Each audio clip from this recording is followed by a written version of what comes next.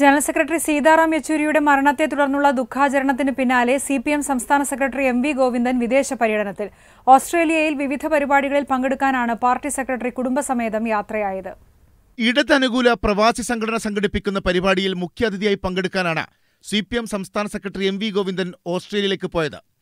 സീതാറാം യെച്ചൂരിയുടെ മരണത്തെ തുടർന്ന് നേരത്തെ നിശ്ചയിച്ച തീയതി പുതുക്കി നിശ്ചയിച്ച ശേഷമായിരുന്നു യാത്ര. ഇടത് അനുകൂല സംഘടനയായ നവോദയ സംഘടിപ്പിക്കുന്ന സാംസ്കാരിക കൂട്ടായ്മയിലും കുടുംബ സംഗമത്തിലുമാണ് എം വി ഗോവിന്ദൻ പങ്കെടുക്കുന്നത്. സിഡ്നി മെൽബൺ ബ്രിസ്ബൺ പെർത്ത് എന്നിവിടങ്ങളിൽ വിവിധ പരിപാടികളിലും പങ്കെടുക്കുന്നുണ്ട്. ഒരാഴ്ചത്തെ സന്ദർശനമാണ് തീരുമാനിച്ചിട്ടുള്ളത്. കോടിയേരി ബാലകൃഷ്ണന്റെ വിയോഗത്തിന് തൊട്ടു പിന്നാലെ അമേരിക്ക അടക്കം വിദേശ രാജ്യങ്ങളിലേക്ക് യാത്ര തിരിച്ച മുഖ്യമന്ത്രി പിണറായി വിജയന്റെയും സംഘത്തിന്റെയും നടപടി അന്ന് പാർട്ടിക്കകത്തും പുറത്തും വലിയ തോതിൽ വിമർശിക്കപ്പെട്ടിരുന്നു. യെച്ചൂരിക്ക് പിൻഗാമിയെ കണ്ടെത്താനുള്ള ചർച്ചകൾ പാർട്ടിയിൽ സജീവമാണ്.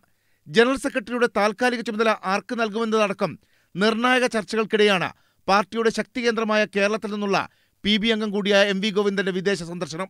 യെച്ചൂരിയുടെ മരണത്തിൽ ദുഃഖാചരണം കഴിഞ്ഞാണ് പോയതെന്നും വിമർശനത്തിന് പ്രസക്തിയില്ലെന്നുമാണ് സി പി എം വിശദീകരണം. Asianet news Thiruvananthapuram. ഒരു ഇടവേള.